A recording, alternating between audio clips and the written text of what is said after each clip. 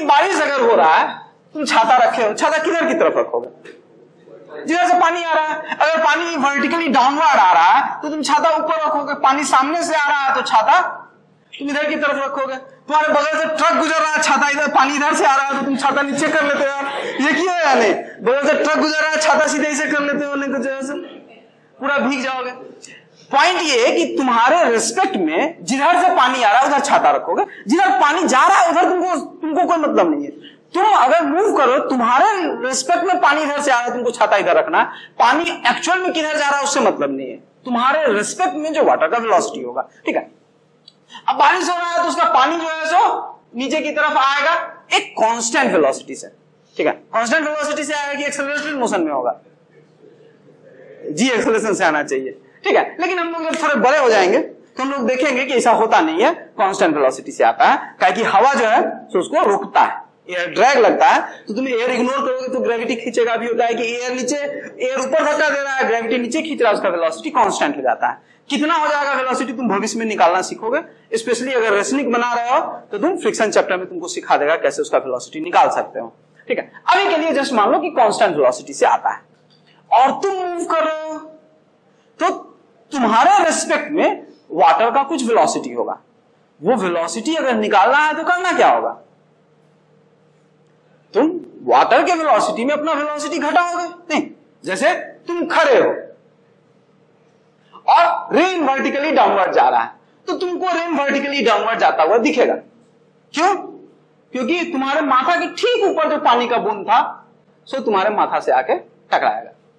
तो तुमको पानी जो है ऊपर से सीधे नीचे आते हुए दिखेगा कि जो तुम्हारे माथा के ठीक ऊपर पानी का बूंद है वो टपाक से तुम्हारे माथा से टकराया ठीक है?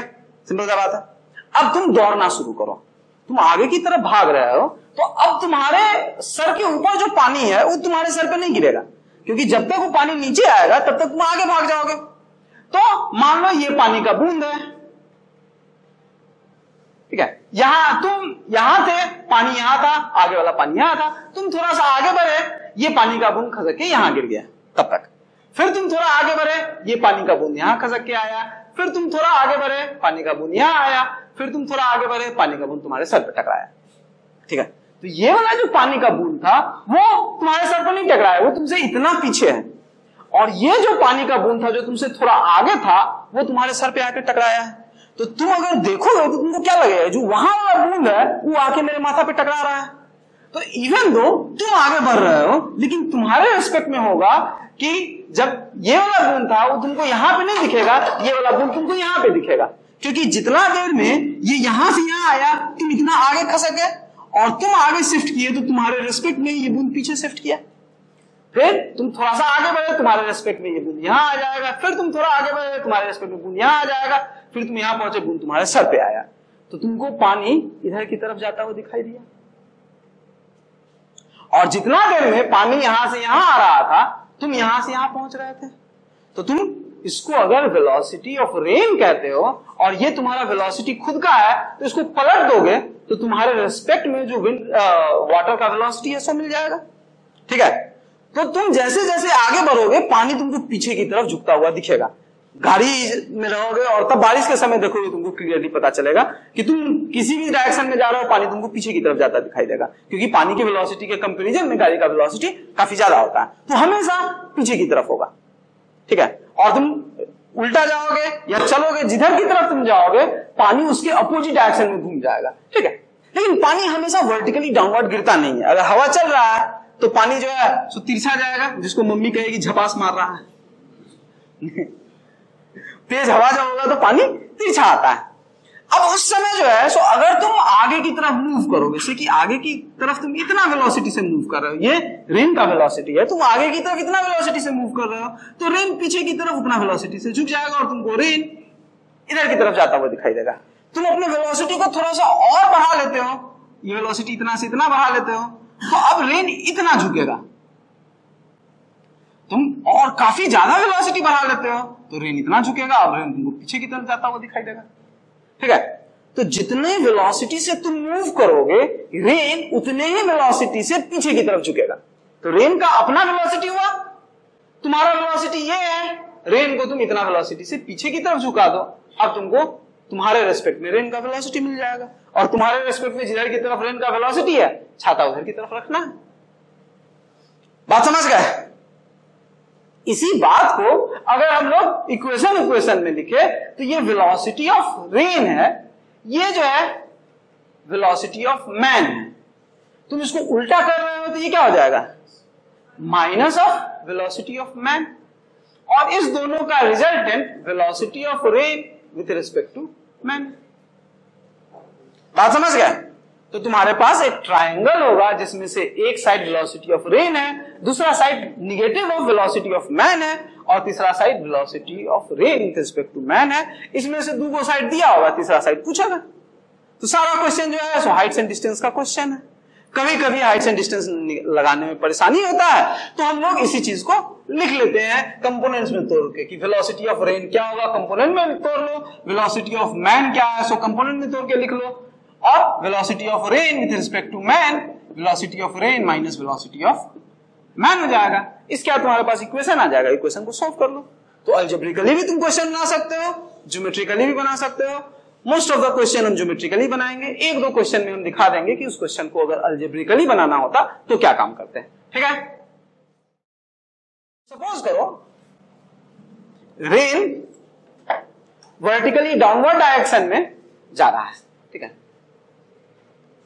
और तुम जब 10 मीटर पर सेकेंड से मूव करते हो तो रेन तुमको वर्टिकल से 30 डिग्री एंगल पे दिखाई देता है। तो बताना है रेन का वेलोसिटी कितना है। ज्योमेट्रिकली बना सकते हो अल्जेब्रिकली बना सकते हो। ज्योमेट्रिकली बनाते समय ये वेलोसिटी ऑफ़ रेन हो गया, जो वर्टिकली डाउनवर्ड डायरेक्शन में है और हमको इसका मैग्नीट्यूड निकालना है। डायरेक्शन हम लोग को ऑलरेडी पता है। आदमी जब 10 मीटर पर सेकेंड से जा रहा है हॉरिजॉन्टली तो से कि इधर की तरफ़ आदमी 10 मीटर पर सेकेंड से गया। ये वेलोसिटी ऑफ़ रेन है जो वर्टिकली डाउनवर्ड डायरेक्शन में जा रहा है। ये जो है तो तुम्हारा वेलोसिटी है जो तुम हॉरिजॉन्टल डायरेक्शन में मूव कर रहे हो।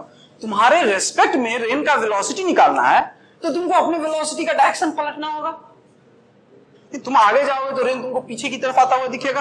और अब जो रिजल्टेंट आएगा, ये velocity of rain with respect to man ठीक है? और क्वेश्चन कह रहा है कि ये वर्टिकल से 30 डिग्री एंगल पे है।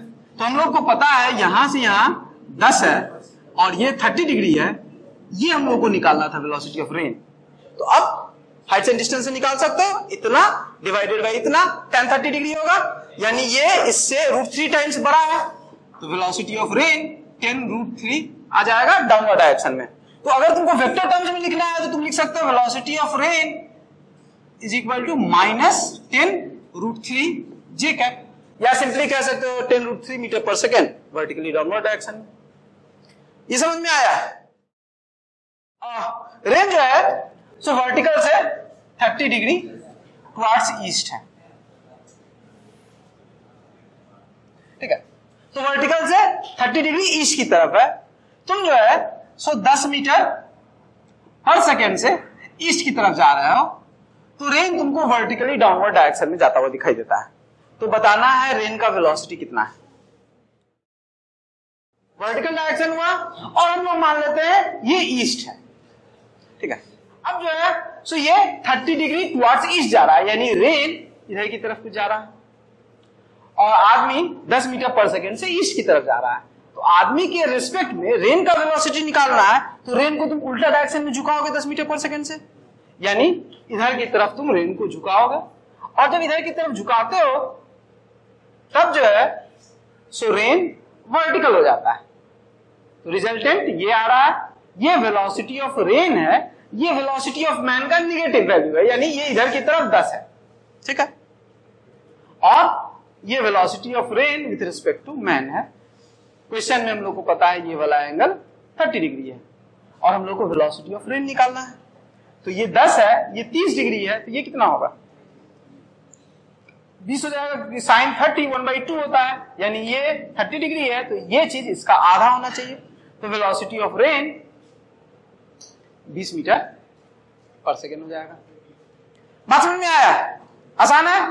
अगर इसको उससे बनाते हो, वेक्टर अलजेब्रा से बनाते हो अलजेब्रिकली सोल्व करते हो तो इसमें तुम करोगे कि वेलोसिटी ऑफ़ रेन को कुछ मान लोगे से कि ए आई माइनस बी जे और वेलोसिटी ऑफ़ मैन जो है सो क्वेश्चन कह रहा है? इधर की तरफ़ ईस्ट की तरफ़ 10 मीटर पर सेकंड से जा रहा है। तो वो माइनस टेन आई कैप है। ठीक है? तो अब जो है velocity of rain with respect to man velocity of rain minus velocity of man हो जाएगा। और तब इसको हम लोग लिख सकते हैं A plus ten I cap minus B J cap. ठीक है? ये समझ में आ रहा है? अब क्वेश्चन कह रहा है कि ये वेलोसिटी आदमी का, के रिस्पेक्ट में जो रेन का वेलोसिटी है, वो वर्टिकली डाउनवर्ड डायरेक्शन में है। अगर वर्टिकली डाउनवर्ड डायरेक्शन में है तो हॉरिजॉन्टल कंपोनेंट ज़ीरो होना चाहिए। तो यहाँ से हम लोग को मिल जाएगा ए का value minus ten I cap होगा, या ए का वैल्यू माइनस टेन होगा। ठीक है? दूसरा इंफॉर्मेशन हमारे पास है कि ये वाला एंगल 30 डिग्री है। यानी horizontal component divided by vertical component tan 30 degree के बराबर होगा। यानी A divided by B one by root three होगा। तो यहाँ से बी का वैल्यू ए रूट थ्री आ जाएगा।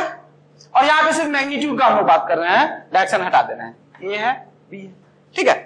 तो यहाँ से जो है सो बी का मैग्नीट्यूड आ गया टेन रूट थ्री और तब वेलोसिटी ऑफ़ रेन आ जाएगा minus ten i cap minus ten root three j cap ठीक है, यहाँ से मैग्नीट्यूड और डायरेक्शन डायरेक्शन हम लोग को ऑलरेडी पता है मैग्नीट्यूड निकल आएगा। पर देख सकते हो, उसके कंपैरिजन में जो ज्योमेट्रिक मेथड है, वो काफ़ी ज़्यादा क्विक है। बात समझ गए? ठीक है?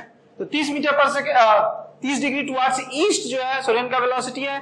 आदमी 10 मीटर पर सेकंड से ईस्ट की तरफ़ गया तो रेन जो है, so 30 degree with vertical towards west है। तो बताना है रेन का वेलोसिटी क्या है। जो है, सो वर्टिकल डायरेक्शन हो गया, और से कि इस डायरेक्शन को हम ईस्ट ले रहे हैं। तो रेन वर्टिकल से 30 डिग्री टुवार्ड्स ईस्ट है, यानी रेन इधर की तरफ़ है।